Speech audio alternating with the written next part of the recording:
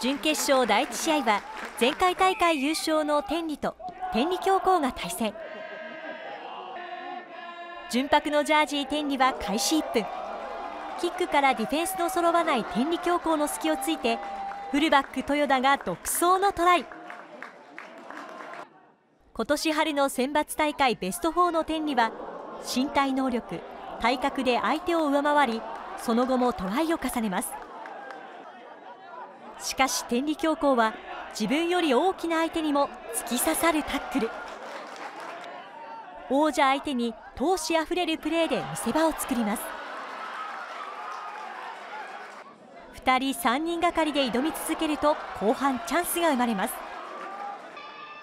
キックと相手の反則から敵陣深くでラインアウト。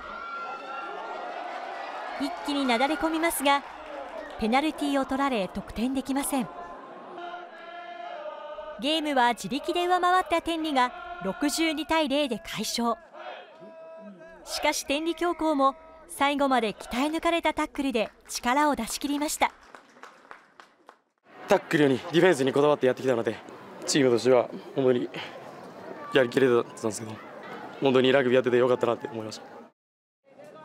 第2試合は天理2部と今年春の選抜準優勝の五瀬実業が対戦選手層の厚い漆黒のジャージー五瀬実業はフィールドを広く使って前半5分。ウイングの1年生田が抜け出し先制のトライ。さらに4分後にもトライを奪います。天理2部は前半15分。ナンバー8木村が密集サイドをつくもディフェンスに阻まれます。天理2部はその後得点を許しますが後半開始4分。再びチャンスをつかみます。個々の能力では勝てないものの連続攻撃で相手を引きつけわずかに空いたスペースにキャプテンでフッカーの迫野1日の練習時間わずか45分。限られた環境でも考え抜かれたプレーで五瀬実業からトライを奪います。これで勢いに乗りたい天理2部。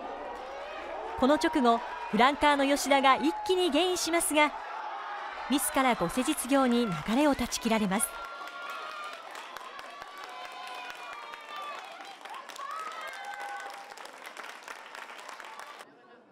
天理2部は最後まで攻め続けますが無念のホイッスル。しかし全てを出し切ったと胸を張りました。やっぱりそのしんどい時も楽しい時も仲間と一緒に越えられて本当にいいラグビー人生をできたなと思いました。勝利はできなかったですけどあとはもう後輩たちに託して、えー、これからも2部を全力でサポートしたいなと思います。花園をかけたファイナル。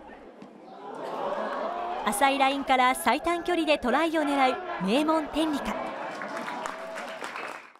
まずは自分たちは体は小さいんですけど、えっと、大きな相手に対して、えー、天理らしくひたむきに情熱を持って、えー、戦いたいです去年不本意なゲームで涙を飲み高速アタックでリベンジを誓う五瀬実業家教わってきたことに対して自分に負けないように、えー、戦っていく、えー、っていう強い気持ちを持って挑んでいきたいと思います。